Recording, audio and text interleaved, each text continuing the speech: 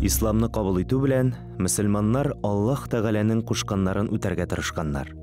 Фәннәрне үстерү һәм белемнәрне арттыруда алар аеруча зур тырышлык куйган. Иман аларга яңа ясау өчен көч биреп торган алга омтылдырган. Чөнки изге китапта әйтелгәнчә фикер йөртүче кешеләр өчен җирдә һәм күктә санап бетергесез билгеләр бар 9 гасырда яшәгән Әбу Ханифа Әхмәд ибн Дауд әд-Динавари шундый галимнәрнең берсе була. Тарихчы Якут Руми аны бик тәкъва кеше, үз чорының галимнәре һәм дин әһелләренең ихтирамын казанган суфи буларак тасвирлый. Әфәннәр өлкәсендә ул үз замандашларын һәм киләчәк буыннарны сәләте белән сакландырган күп кырлы галим булган фәннәр өйрәнүдә дин аңа бер ничек тә комачауламаган, киресенчә, исламда булганга күрә галим бик зур уңышка ирешә һәм гарәп ботаникасына нигез салучы исемендә ала. Әбу Ханифа әд-Динавари 815 елда Ирандагы Хамадан һәм Кирманшах арасында урнашкан Динавар өлкәсендә туа. Әтисе аңа математика һәм астрономияны өйрәтә. Галимнең китап Әл-Кибла ва Завал исемле хезмәте аның астрономия өлкәсендә зур гыйлемгә ия булуын раслый. Әбу Ханифа әд-Динаваринең Китап әл-Кусуф дигән китабы ай һәм кояш тотылуына, Китап әл-Анва исемлесе метеорология фәненә, ә Китап әл-Бульдан хезмәте географияга багышланган. Әд-Динаваринең Әш-Шигыр ва Шугара, Әл-Фусаха, Әр-Раддул әлә Людал Избахани исемле хезмәтләре галимнең филология өлкәсендә дә бик гыйлемле булуын дәлилли.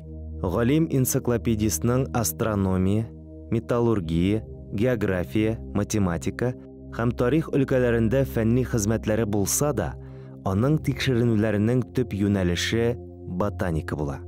Әд-Динаваринең хезмәтләреннән билгеле булганча, ул хәзерге Гарабстан, Сүрия, Аман, Әфганстан һәм Пакистан территорияләрендә җирле үсемлекләрне өйрәнгән. Шулай ук Анатолия үсемлекләрендә сүрәтләгән. Димәк, шушы максат белән Византиягә дә барган. Китабун Нәбәт, ягъни үсемлекләр турында китап, галимнең биология өлкәсендә эшләгән иң саллы хезмәтләренең берсе.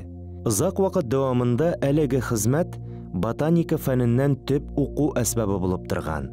Ә Әбу Ханифа әд-Динавари үзе бу китапны язганга гарәп ботаникасына нигез салучы дип санала. Ни гаҗәп, әлеге китапта үсемлек дөньясы гарәп телендә генә түгел, ә фарсы телендә дә тасвирлана. Үсемлекләрнең атамалары фарсы телендә бирелә.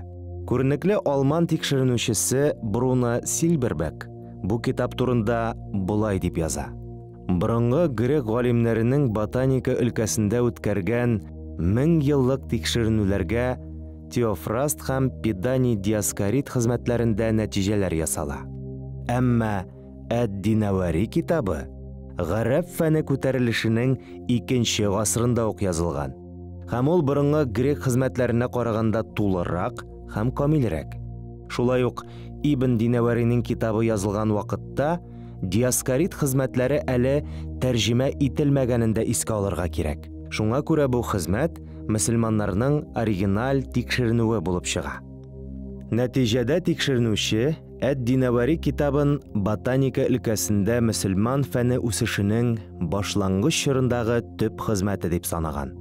Аның китабел бах дип аталган хезмәте фармацевтика белән медицинага багышланган һәм бу өлкәдә мөһим мәгълүматларны үз иченә алган.